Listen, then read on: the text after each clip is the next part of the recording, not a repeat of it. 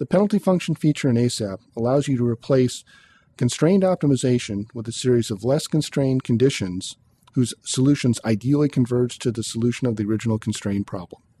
To understand penalty functions or to motivate their use before illustrating them with an ASAP example, we turn to a general common example of a penalty function, optimizing the trip of the classic traveling salesman.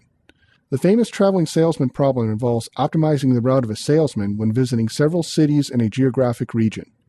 This classic optimization problem was one of the original problems solved by simulated annealing among other techniques.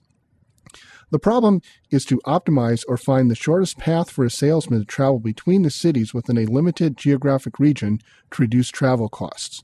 Minimum travel costs could be considered the merit function. The added constraint of this problem, and where the penalty function is applicable, is that some cities are separated by a river. The salesman must pay an additional fee to cross the river to visit cities in his sales region. For the salesman, a river crossing would be considered a constraint, that is, he would rather not allow it to occur because of the increased cost. However, river crossings are necessary for his business, so he wants a route that limits river crossings by penalizing those potential routes for excessive river crossings. This is a plot of the various cities that the traveling salesman can travel to. After optimizing, this is the resulting route of the traveling salesman. This same technique can be applied to optical systems, and we will demonstrate this next with an ASAP example. In order to illustrate this process in ASAP, we will look at a very simple problem designed to demonstrate the use of penalty functions while not complicating the objective function. We will design a compound parabolic concentrator, a CPC, to minimize the RMS angular ray deviations out of the concentrator. A CPC is a non imaging optical system that is normally used in solar collection or concentration applications.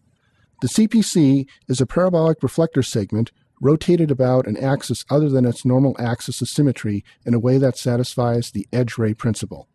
The edge ray principle forces all rays from the extreme input angle to basically focus at the edge of the output aperture.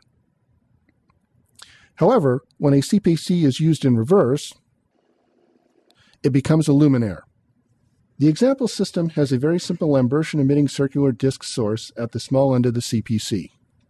The longer the CPC, the more collimated the light reflected from the CPC walls, so the optimization task is trivial and is meant to be so to illustrate penalty functions. We will minimize the RMS ray deviations by changing the extreme ray angle of the CPC while constraining the length of the CPC to demonstrate the use of the penalty functions. The length of the CPC in our particular example here will be analogous to the river crossings in the traveling salesman example.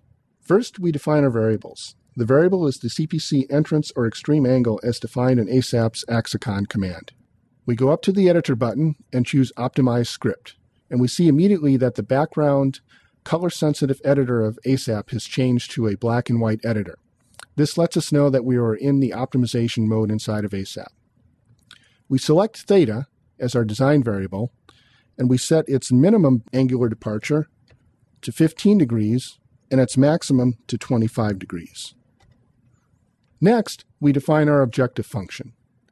The objective function in this particular case is the RMS spot size, or RMS ray deviations out of the CPC.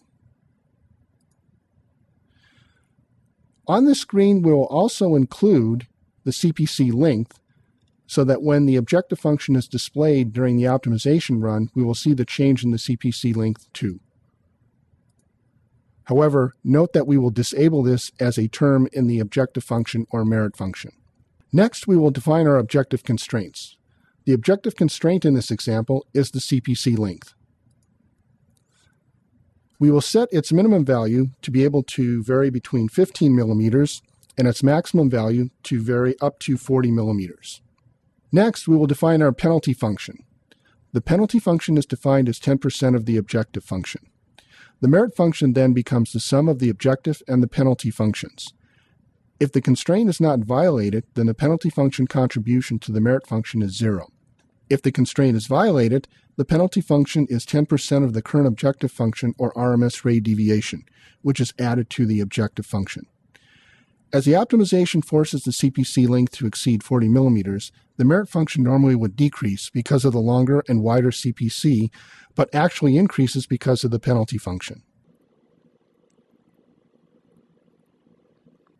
The optimization will turn to a CPC length less than 40 millimeters since the merit function will be the smallest around this point.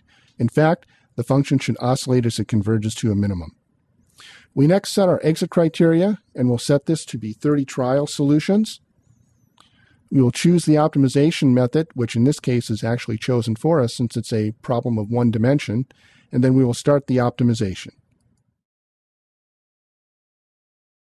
As the optimization progresses, we will see a plot of the figure of merit versus the trial solution.